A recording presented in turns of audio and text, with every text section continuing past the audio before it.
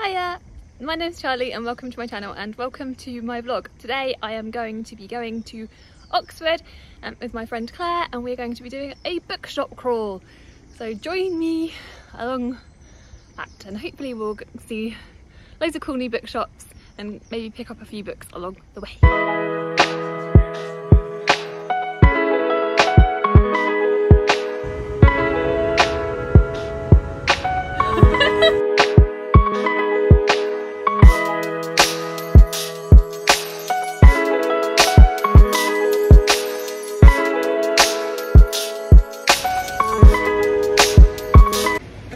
Behind us, what is what is behind us? Cow, Yeah, according to you. it's an ox because we're in Oxford. Not a cow.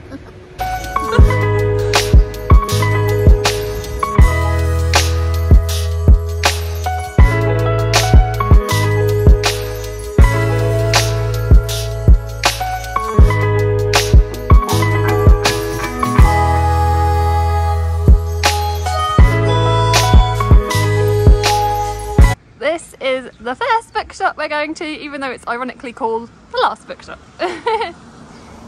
In we go.